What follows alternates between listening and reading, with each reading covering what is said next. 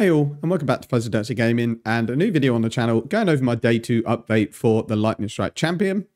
I'll go through the content I've completed, along with how I feel the build is progressing and what sort of things I've been doing to make currency. So before we go over the build, I just want to state that I am aware I can get a lot more damage out the build with things like Voice of the Storms and the Watcher's Eye, but these items aren't part of the crit build. So what I've tried to do is ensure that whatever I spend money on on my character is something that I can send over to crit.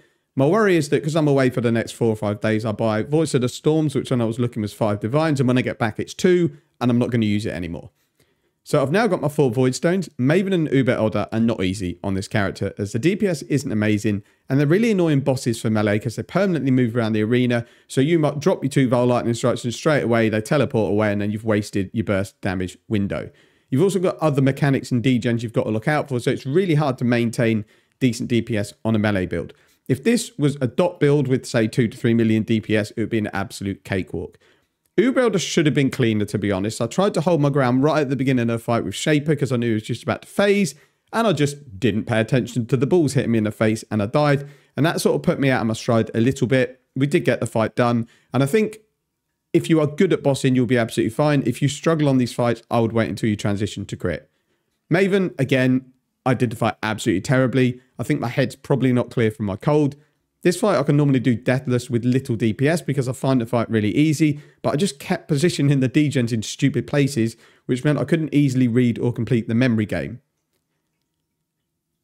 Those fights are out the way now, though I'll never have to do them again. I've got my full Void Stones and I've got my non-unique Atlas complete, and I've got a few invitations under my belt.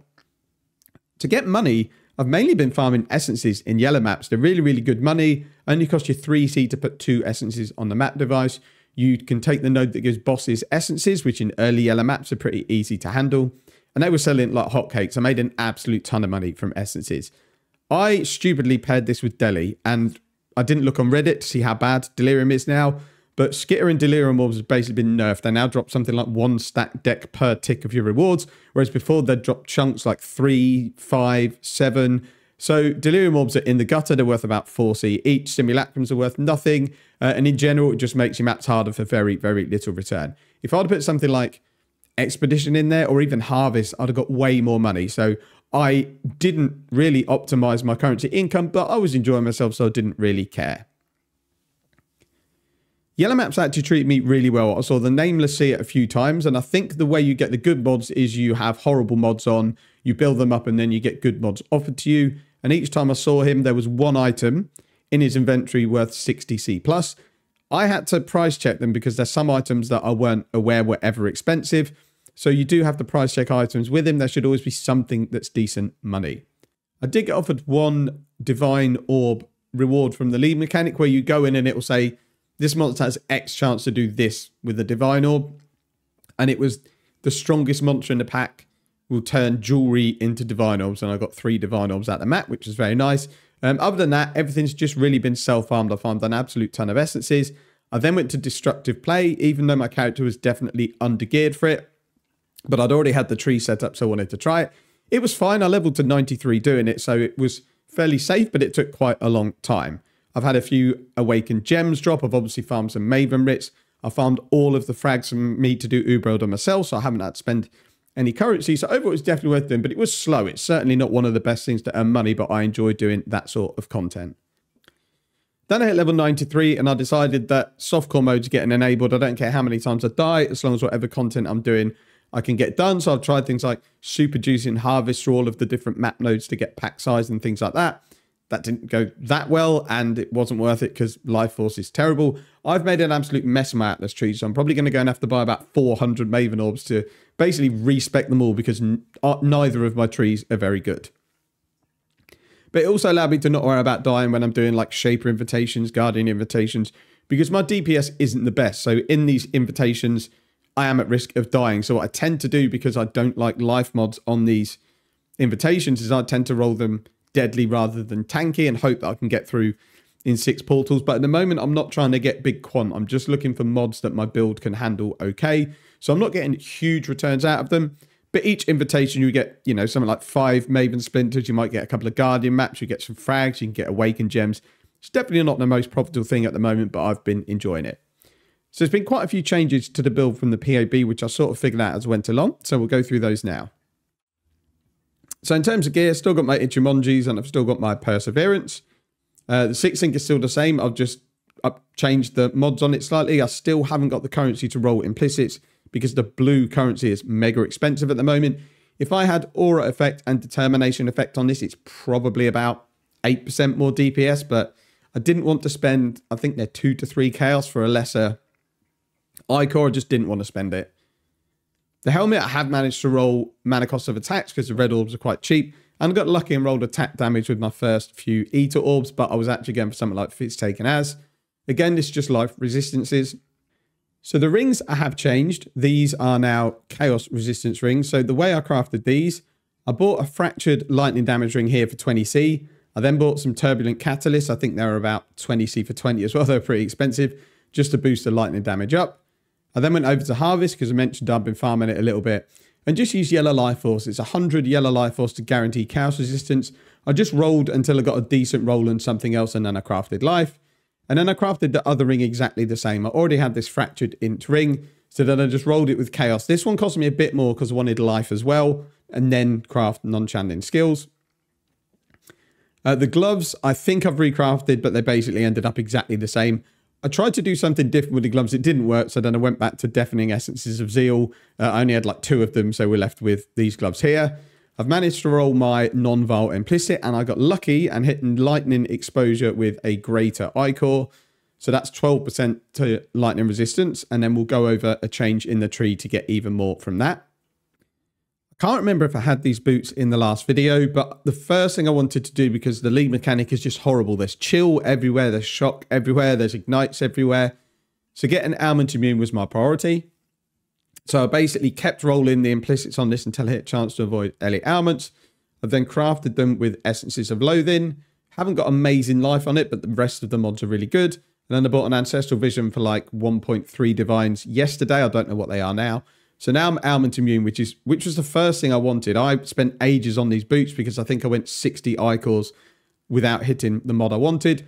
Once I got that mod, because the boots were already crafted, I could then put my Ancestral Vision in and be ailment immune. The amulet I've changed as well. I bought a Fractured Intelligence amulet, rolled it with lightning damage essences and crafted life. That's it. Um, it's got all early res on it. It's not the best amulet in the world, but it does the trick. And then allocated arcing blows just because it's big damage. It's a silver oil, which is about 20 odd C, and then two clear oils, which are nothing. You'll pick them up um, in any blight that you do. And then we've got Quicksilver Flask with pretty rubbish attack speed on it. Uh, evasion on the Granite Flask, Curse effect on the Jade Flask, and then Armor on the Quartz Flask.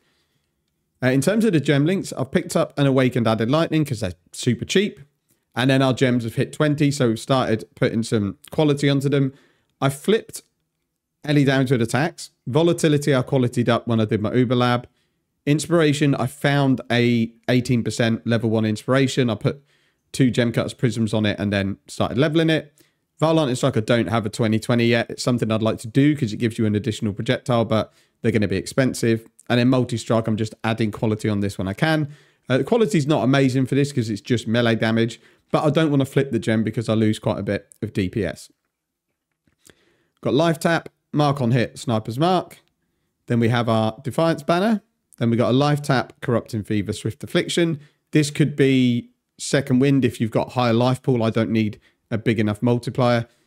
Just for those aren't aware, Swift Affliction and Life Tap don't really do anything. It already uses life anyway.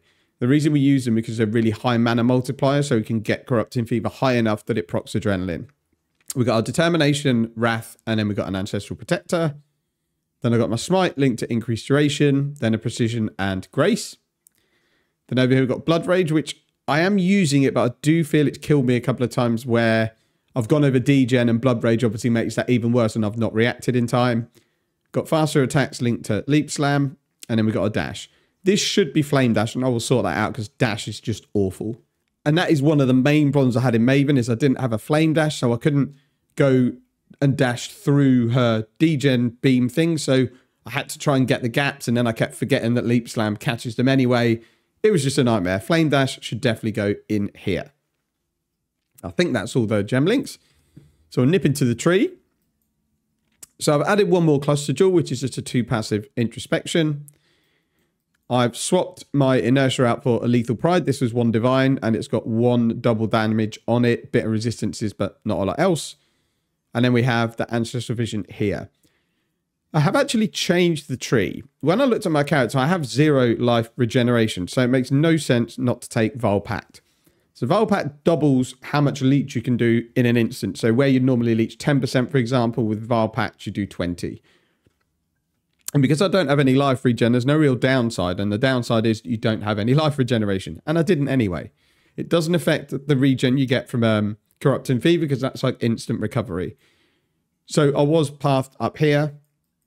So I've just come down here, taken all of the leech nodes and then instant leech as well. This feels much, much tankier, but when you have got Blood Rage going and you don't have an enemy to leech from, it does feel a little bit dicey. I'm not sure this is the best thing to do. Um, but when you're on one-on-one combat and you're attacking really, really quickly and you've got instant leech and big leech from Vaal Pact, I definitely felt the difference. And then the only other major change is we've now taken this mastery so the exposure applies 18%. So you don't have to roll your exposure on gloves with anything other than lesser because this node is going to push it up to minus 18% anyway. Voice of the Storms would be a great option. It's about 30% more damage on this build, but like I mentioned, because it doesn't go my final build, I don't want to put it in there.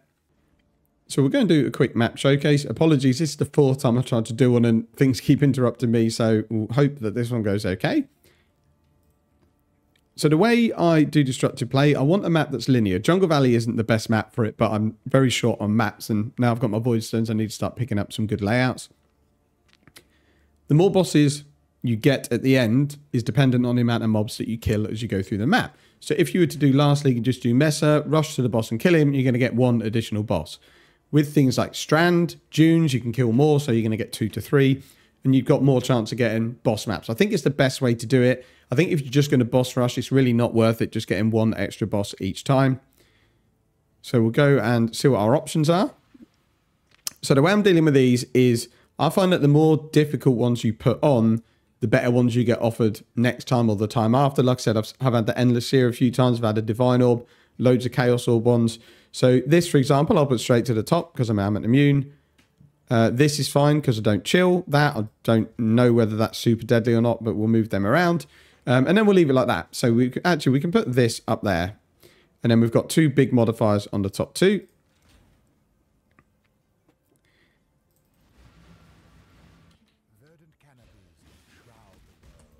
And then I run um, them scoured mostly because I'm really only bothered about the maps at the end. And it does make them a lot harder not scouring them, especially if you want to put maybe some dodgy mods on from the league mechanic. It makes it a lot more difficult. It looks like this is an influence map that I picked up in one of my invitations. I didn't realise that, but doesn't really do anything. Strong boxes I've got on my Atlas tree, but I'm only opening them when I'm doing this strategy if they're like uh, cartography or something rare, because most of the time there's nothing in them.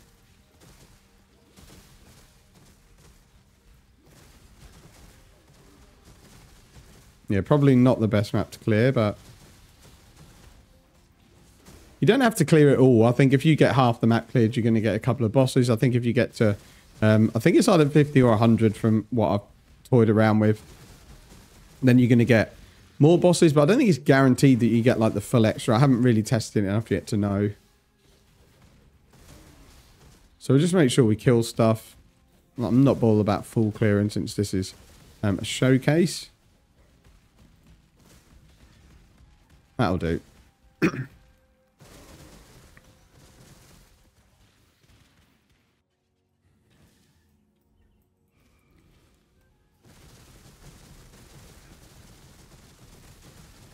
so this one's not too bad because I think you can kill this uh, boss, the Jungle Valley one in one phase. It doesn't have like an auto phase. Whether I've got enough DPS to do or not is another matter, but...